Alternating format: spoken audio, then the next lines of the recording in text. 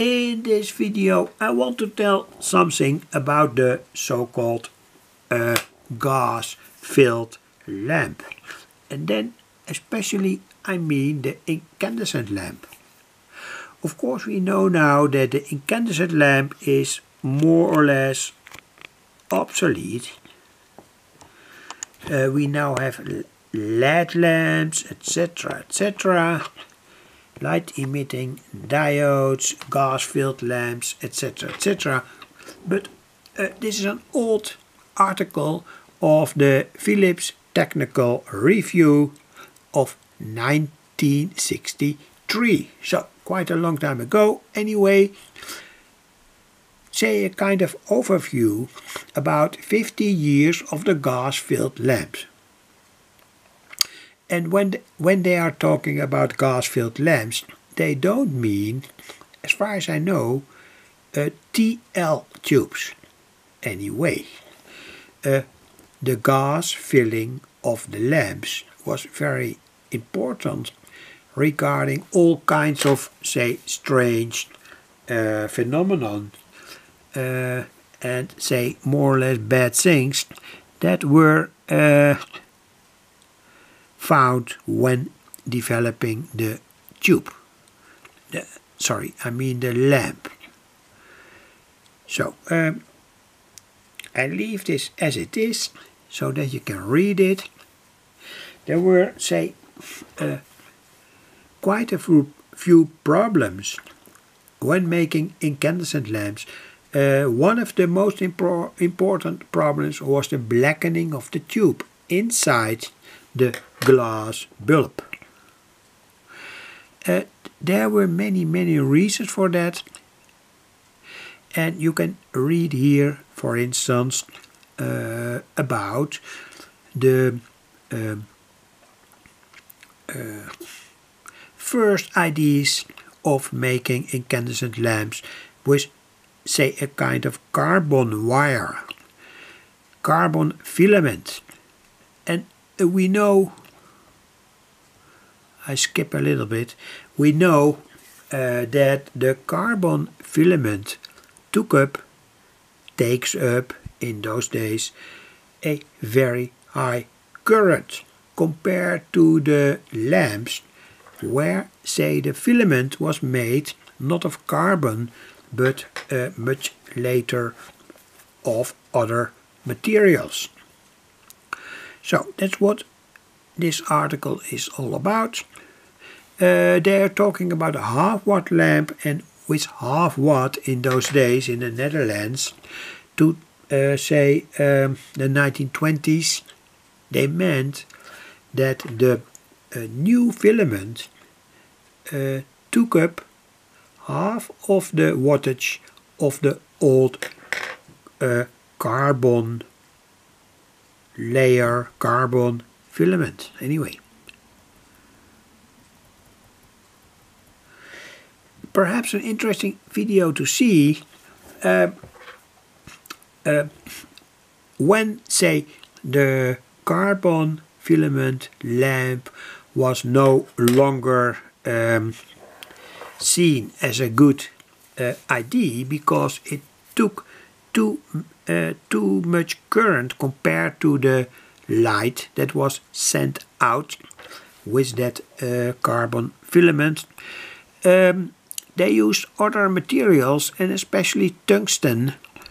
And here you can see in that uh, magazine of Philips how that tungsten uh, material was made. Uh, tungsten by itself had, say, not too good properties. And then I mean, it could not be melted because uh, the, the melting temperature was much too high. So it had to be sintered. And here you see that sintering process uh, where they in the uh, Philips um, factories try to make a filament out of that tungsten material. And this is, I think, a quite good video. Sorry, a quite good picture. Heating up, hammering it, hammering it, pushing that, uh, say, the crystals of that tungsten through a uh, diamond uh, tube and then, say, uh, getting out a certain wire that could be used for these lamps, incandescent lamps, of course, incandescent lamps. And when we are talking about incandescent lamps, always very important is that uh, there were many problems. Say, the heat developed inside the lamp around the filament, the gas layer uh, around in the filament, and they finally found out, as far as I could see, you can read it here when you have time. Also, the Langmuir invention, very important, by the way, uh, when you have time, uh, that uh, the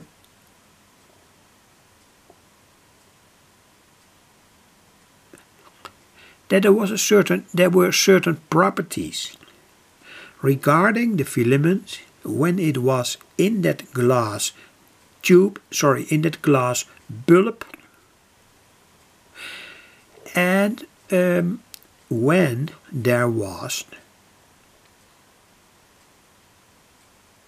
as far as I could understand a, a kind of um,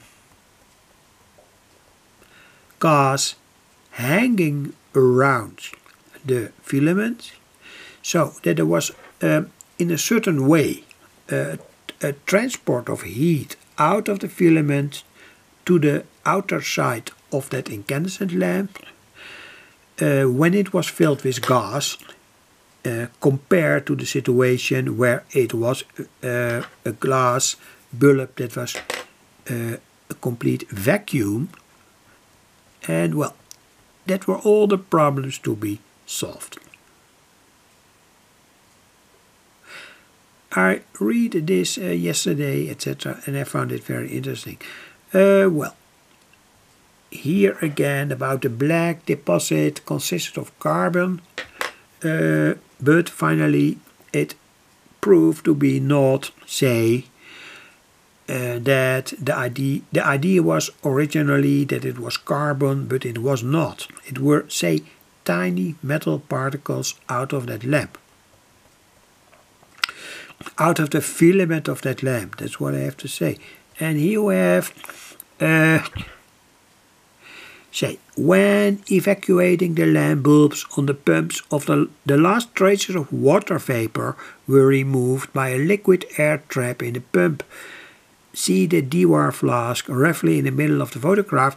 Uh, they say they found out that traces of water had in a certain way a deteriorating effect on how that incandescent lamp worked. So all traces of water had to be uh, evacuated. Well, here again,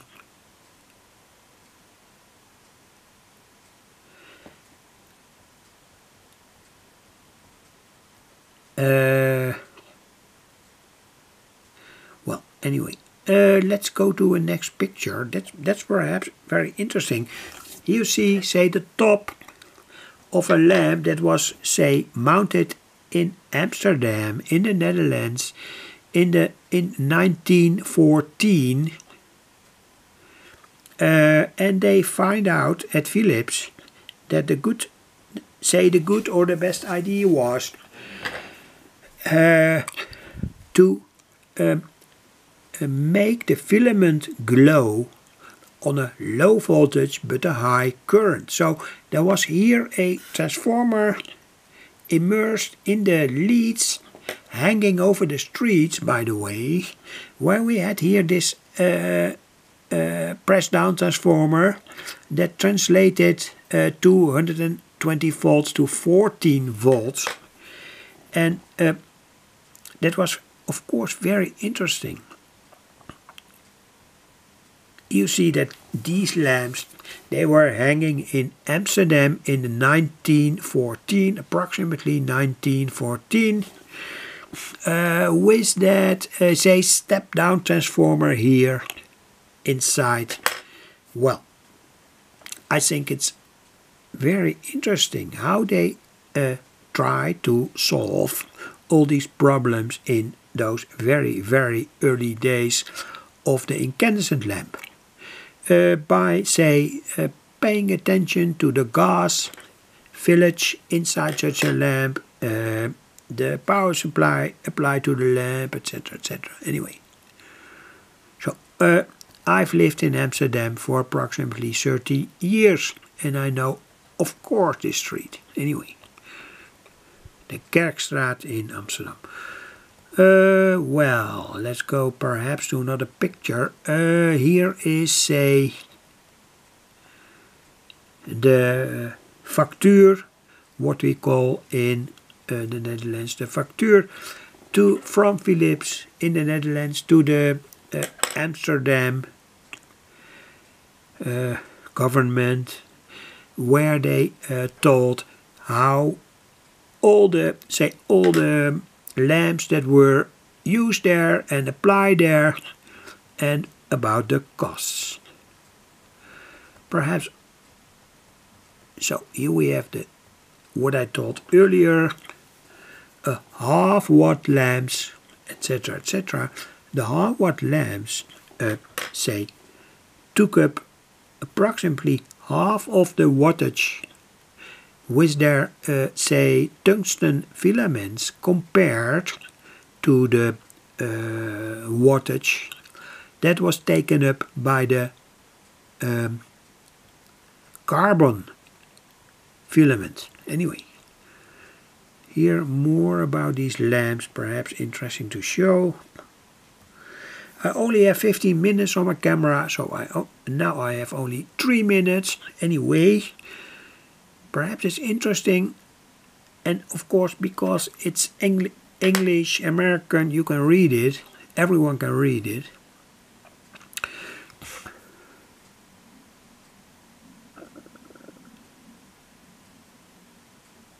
So here again uh, a much smaller bulb could be made because of say that lower emission of metals inside that lamp. When the, of course, when the filament was heated. And this is also very, very interesting. These are, say, measurements and photographs of how the filaments inside these lamps acted. And in terms of recrystallization, so structural of a wire of pure tungsten after recrystallization, that's A, here's B, the offsetting in a tungsten filament occurring when a lamp having a filament with a structure shown in A had burned for some time. So say in a certain way the filaments say that crystallized matter uh, say uh, slopped down in a certain way. And that of course uh, could uh, cause many problems. Anyway. Further developments about the filament. And I'm surely searching for pictures.